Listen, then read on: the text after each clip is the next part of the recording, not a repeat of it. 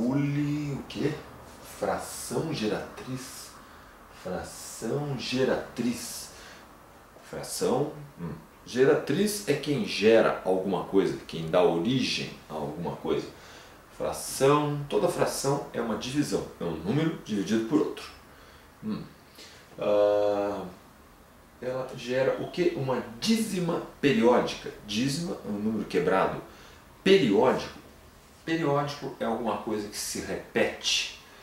O 6 não está repetindo aqui? 0,666 e os pontinhos quer dizer que eles se repetem ao infinito. Hum, infinito é uma coisa bacana, hein? Vou dar um exemplo aqui.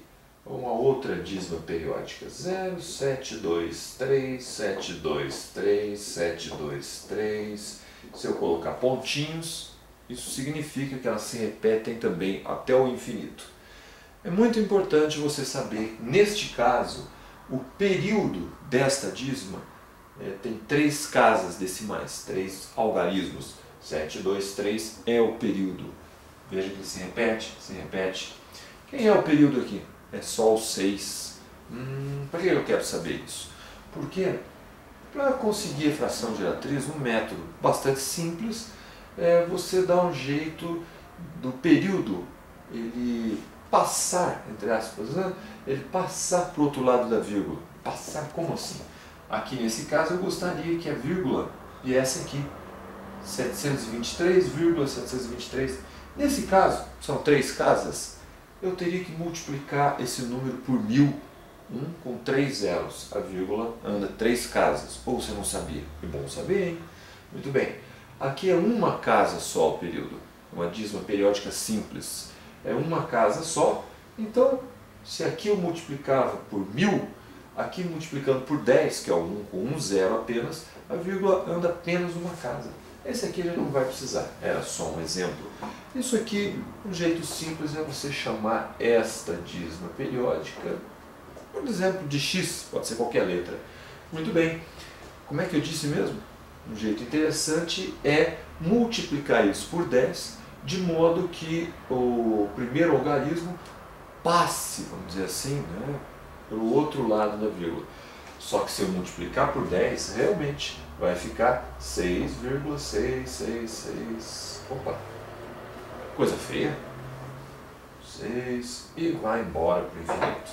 Bom, deu certo. Só que pode multiplicar assim por 10? Pode, é uma equação, então eu posso, se eu multiplicar desse lado, basta que eu multiplique o outro lado também por 10. Quanto que é x vezes 10? 10x. Ah, fácil, não? Muito bem. 10x é igual a 6,666. São equações equivalentes, não mudou nada, o x continua tendo o mesmo valor que tinha lá em cima. Hum, e agora? Agora, mexer com um valor quebrado, assim, meio complicado. Que tal tirar essa parte quebrada, parte decimal? Que tal tirar a dízima? Como tirar? Tirar em matemática é subtrair. Eu vou subtrair então o 666 depois da vírgula. Hã? Como é que faz isso? É assim, ó.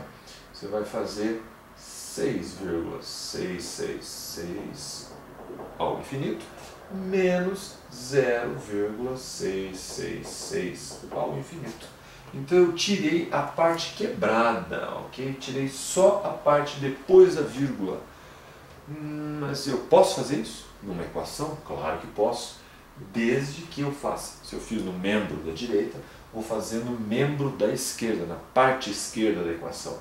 10x menos... Eu tenho que tirar a mesma coisa, como se fosse uma balança. Tirei um quilo de um lado, tenho que tirar um quilo do outro. Tirei 666 gramas de um lado, tenho que tirar 666 do outro para que a balança fique equilibrada. Se eu tirei 0,666, hum, como é que eu faço isso aqui? Espera aí, 0,666 não é exatamente o valor de x? Então 10x, eu vou tirar isso aqui, só que aqui eu vou escrever como sendo x. Ah, 10x menos x é a mesma coisa que 6,666 menos 0,666. 6,666 é 10x aqui. E o x sabemos que é 0,6666. Muito bem, aqui eu coloquei como x e aqui representando a dízima. Por que, que eu fiz isso? Quanto que é 10x menos hum, 1x? 9x. Ah, muito bem. 9x. E agora, de cabeça, 6,666 ao infinito, menos 0,666 ao infinito. Se tivesse mais um 6 aqui, não tem problema, tá? Porque vai para o infinito, sabemos que é tudo 6 aqui. O quanto eu escrever não importa. Ah, mas quanto que dá isso aqui? Ah, muito fácil. Pensa aí, ó. Quanto que é 7,3 menos 0,3? Hum? É isso que você está pensando. Isso aqui é igual a 7. Então isso aqui vai dar o quê? Vai dar 6. Ok? Só tirei a parte decimal, a parte que a gente fala quebrada. Bom, e como é que eu sei o valor de x? x é igual a 6. Cadê o 9 que estava multiplicando? Hum, eu dividi por 9 aqui. 9 dividido por 9 ficou 1, positivo, bonitinho. Se eu dividir um lado por 9, o que eu tenho que fazer do outro lado, do outro membro? Dividir por 9. Tem gente que fala assim, né? 9 estava multiplicando, passou dividindo.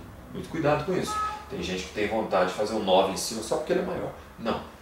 x igual a 6. Eu só dividir os dois lados por 9. Muito cuidado, esse erro é comum.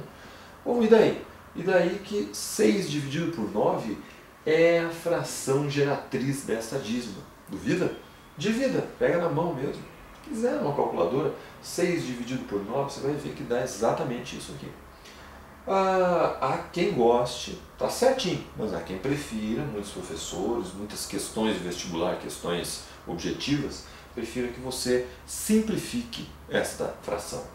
Ou eu posso dividir por 3, em cima e embaixo, numerador e denominador. 6 dividido por 3 dá 2, 9 dividido por 3 dá 3, 2 dividido por 3, mais popularmente conhecido como 2 terços, dá exatamente o valor decimal dessa fração é 0,6666 ao infinito.